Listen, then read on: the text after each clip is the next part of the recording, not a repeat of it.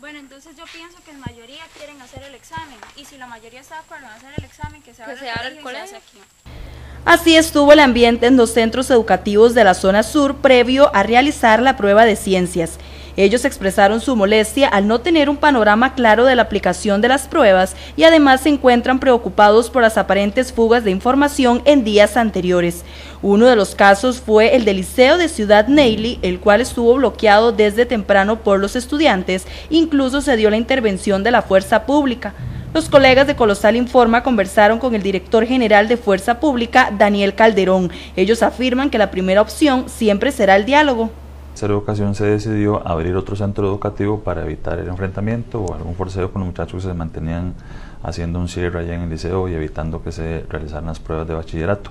Un pequeño grupo de estos estudiantes se dirigió a este centro educativo al que se iba a abrir para realizar las pruebas e intentó obstaculizar eh, el ingreso y que los demás estudiantes que estaban dispuestos a realizar la prueba la realizaran. Así que eh, tuvimos que pues, emplear la policía para abrir el centro educativo, para asegurar que los demás estudiantes pudieran ingresar y finalmente pues ya se logró eh, realizar sin ningún inconveniente, por lo menos, insisto, los estudiantes que así querían hacerlo, en conjunto, digamos, incluso con la compañía de algunos padres de familia y finalmente transcurrió sin, ningún incidente la actuación.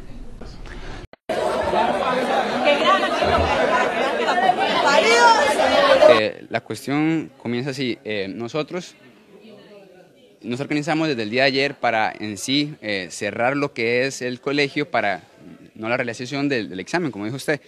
La cuestión fue que llegó la policía alrededor de siete y media, siete y media de la mañana. Desde primera instancia llegaron a suprimir lo que era la fuerza de la huelga. Después hicieron algo que era prohibido e intentaron cambiar la sede se fueron a lo que fue las aulas de la iglesia Osana, después dijeron que la iglesia CAES, no está, la Universidad Católica. Y en, fracción, para terminar, realizaremos las pruebas. De antemano hubo agresión por parte de la fuerza pública a mi persona y a otros dos estudiantes, de antemano digo. Y esta huelga sigue el lunes, sigue en pie, para que todo el que se quiera apoyar pedimos apoyo a toda la fuerza del sur para que nos ayude y pueda salir adelante esta huelga. Muchas gracias. También el contacto con otros centros educativos ya se dio para continuar con este movimiento el lunes. El director de la institución, Roger Rivera Ríos, lamentó la situación e indicó que los jóvenes se fueron a otras sedes a impedir el ingreso. Triste, lamentable, eh, la sociedad, las instancias no se han podido poner de acuerdo en comunicar. Nosotros llegamos a las 6.50, como normalmente llegamos, ya había unos estudiantes en el portón diciendo de que ellos iban a presionar eh, para no dejar entrar el personal eh, de la institución que eh, no, no está en huelga, como las personas que tienen a cargo el proceso de evaluación. Nosotros negociamos con ellos, le dijimos que en el tanto en que no hubiese violencia y no hubiese irrespeto, pues hay que respetarle ese espacio a ellos. Posteriormente vienen, como era normal, la comunicación, la llamada que vamos a hacer. Eh, bueno, se logra tener una comunicación con ellos y la, la gerencia, o sea, la parte administrativa, doña Miriam, que tiene posición en cuanto a eso, decidió llevar a los muchachos a otra sede. Los jóvenes también se fueron a esa otra sede a interferir la entrada. Y bueno, de hacer esos obstáculos, vienen otra vez para acá. Le dije que esta era una institución pública, es del MEP, por tanto, si, si los estudiantes están, si el personal está, no deben interferir en el proceso, o sea, que deben permitir hacer el examen. Y eso fue lo que pasó.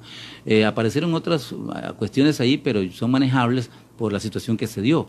Pero nosotros con gusto estamos para servir, ayudar a los padres de familia, este, agradecemos eh, que fíen los jóvenes en esta institución, estamos para servir y consideramos que por hoy, por hoy la situación fue manejada. También pide el Ministerio de Educación Pública hablar con claridad y aceptar el error de fuga de información y no podemos responder en lo sucesivo en los otros exámenes que faltan, pero sí podemos decir que hoy su papá en casa puede estar tranquilo, los jóvenes están ahí. Tengo un caso de histeria, más o menos ahí a una joven, ya activamos el protocolo 911 para atender ese caso eh, singular, ¿no? Pero por lo demás, eh, nos sentimos contentos, en primera instancia voy a decir, nos sentimos contentos por la forma en que nuestros estudiantes manejaron la situación, defendiendo sus derechos, pero con el debido respeto. Otro de los casos fue el del Liceo La Ubita, donde los estudiantes fueron trasladados a la Escuela La Ubita para la realización de la debida prueba. En el Ministerio de Educación Pública, en un comunicado de prensa, expresaron, de acuerdo con los reportes de las direcciones regionales de educación, en un total de 50 colegios se presentaron algunos inconvenientes por parte de grupos estudiantiles que trataron de cerrar los centros educativos. La prueba se realizó porque no se encontró evidencia de sustracción del examen de esta asignatura antes de su aplicación. En el MEP han redoblado la vigilancia de estas pruebas, que estén bajo custodia de los directores regionales a través de varios controles diarios. La situación que se vive en torno a estas pruebas de bachillerato 2018 es preocupante para los estudiantes que desean poder graduarse.